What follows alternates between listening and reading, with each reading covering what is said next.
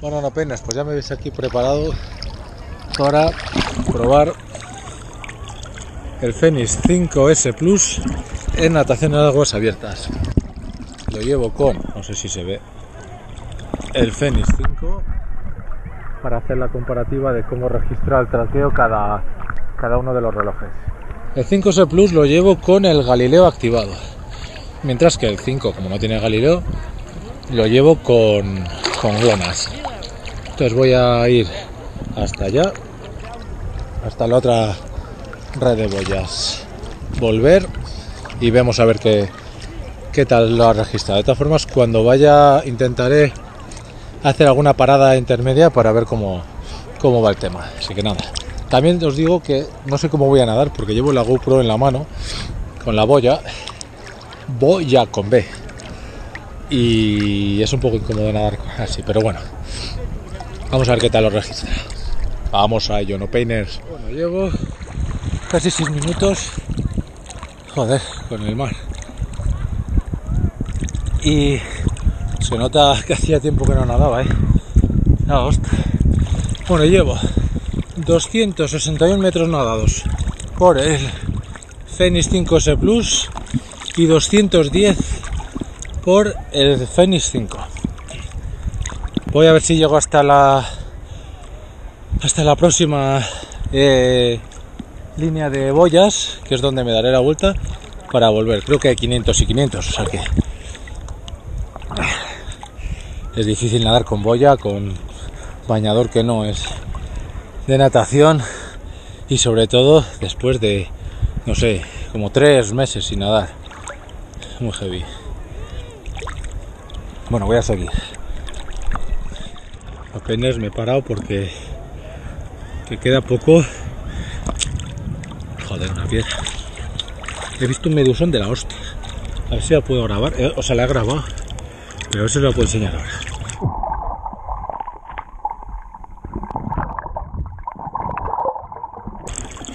Estas cosas me dan un mal rollo. ¿Qué te pasas? Porque ahora no sé dónde está. Y como tengo que volver, quiero ir hasta allá. Y como tengo que volver, no sé, una muy me usa importante. Bueno, pues ya he llegado a la primera línea de boyas. Aquí no puedo pasar porque es para embarcaciones. Y bastante diferencia, ¿eh? Bueno, el ritmo infernal. Vamos. Aquí me marca 307 los 100. Hombre, entre que voy con el bañador. Pone ha dicho. No poner excusas. Pero, importante. 464 metros que ha medido el 5S Plus con el Galileo. Mientras que, mira, aquí llevo 238 de los 100. Eh, a ver si sale. Aquí ha medido 556 metros el Fenix 5 con el GLONASS. Voy a hacer ahora una prueba llevando los dos con el GLONASS. A ver si marca o no diferencia. ¿Vale? ¿Parece? Bueno, si nos parece también lo voy a hacer porque como no todavía no sé lo que me contestaríais, que voy a hacerlo. Y vuelvo. a ver si no me come la medusa. Que tampoco era tan malo que iba contra corriente. Ahora llevo un ritmo de 207 a favor. Bueno, los dos con nos ha activado. 338 338 metros. Me ha medido de momento el DS Plus. Y el 5 303 bueno sigue habiendo diferencia vamos a ver si terminamos. Bueno pues tengo que ver en Garmin Connect cómo se han registrado los datos pero ya os adelanto que hay bastante diferencia. Fijaros. 348 metros ha registrado el 5S Plus. 538 metros que ha registrado, que ha registrado el 5 estamos hablando de 200 metros de diferencia Vamos a agregar mi Connect y sacamos conclusiones. Bueno, ven, os voy a enseñar cómo ha registrado cada reloj en la actividad de aguas abiertas. Si notan diferencias, ¿cuál ha registrado mejor la actividad? Pues sinceramente no lo tengo claro. Vamos a verlo y sacamos conclusiones. Bueno, para que veáis, esta es la actividad que ha registrado el Fenix 5. Ha registrado 550 metros a 2.39 de cada 100. Aquí va corriente en contra, ¿eh? Estaba mal, pero corriente en contra.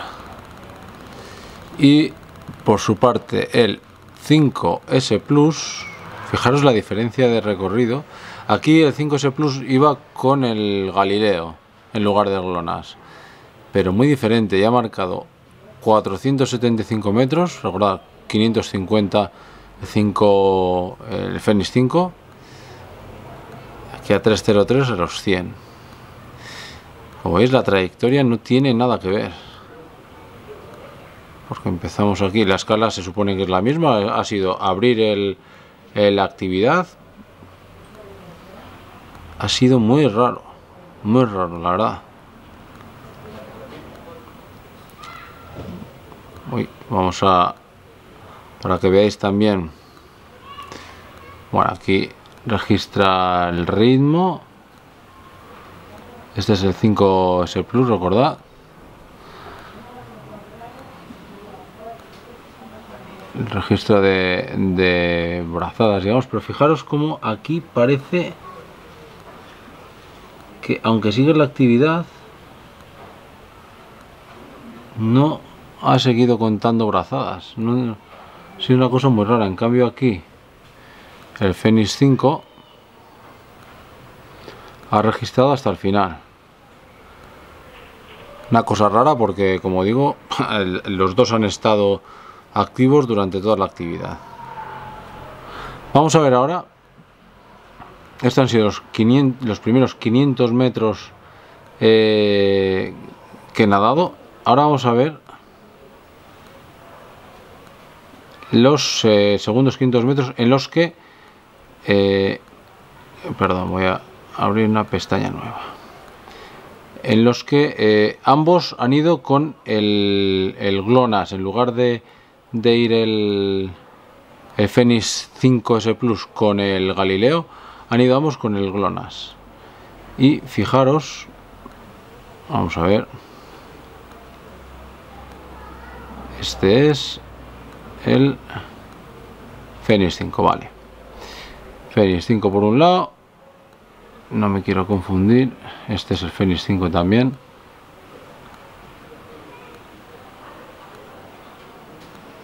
Y este es el seguidor 5S Plus. Fijaros, diferencia también importante. 350 ¿eh? metros los que ha registrado el 5S Plus en la vuelta. No sé, eh, aquí esto la verdad que no se, no se corresponde con la distancia real. Y fijaros que aquí parece como si hubiera parado de contar. No sé por qué, no sé si ha sido porque he hecho una parada en el medio y luego no ha seguido eh, no ha continuado registrando. No lo sé no lo sé. Porque sí que o sea yo no lo he parado. Y en cambio el 5 no esto no es. Este es en la segunda serie 525 metros a 231 los 100 y aquí veis que sí que está la parada registrada, la, parada que he hecho que me he parado aunque no he terminado de o sea no, le he dado al stop a, la actividad pero ha continuado luego. Y el Fenix 5S Plus no. Una cosa muy muy rara. Bueno pues ya habéis visto bueno Painters que la diferencia ha sido importante. No, no quiero no, no sé el motivo, la verdad, no quiero sacar conclusiones eh, erróneas de estas primeras impresiones, como todos son primeras impresiones y puede ser que de, haciendo nuevas pruebas pueda cambiar eh, y de hecho espero que cambie eh, mi opinión porque ahora no es muy buena sinceramente pero ha podido deberse a múltiples factores. O sea el hecho de que parece que haya dejado de registrar eh, brazadas y demás la verdad que, me sorprende. Entonces vamos a hacer nuevas pruebas. No, dejemos, no nos dejemos llevar por este, esta primera prueba. Veremos a ver las siguientes que hacemos y ya con la review final nos hacemos una idea pero eh, tiene que cambiar bastante el tema ¿eh? un poco sabor me ha dejado mal sabor de boca a pesar de que pensaba que iba a ser que iba a ser bueno lo que pasa es que claro tampoco tenía referencia con el Fenix 5 entonces ¿cuál creer? por distancia entre, entre boyas me da la sensación de que ha registrado mejor el, Fenix 5 no el 5S Plus. Entonces, bueno, como digo, vamos a esperar, vamos a hacer más pruebas y, sacamos conclusiones más eh, acertadas de, esas nuevas pruebas, ¿vale? Botón de suscribirse, dale ahí, dale ahí. Y así veis nuestros vídeos, estéis informados de cada vez que publicamos algo, sois los primeros en verlo.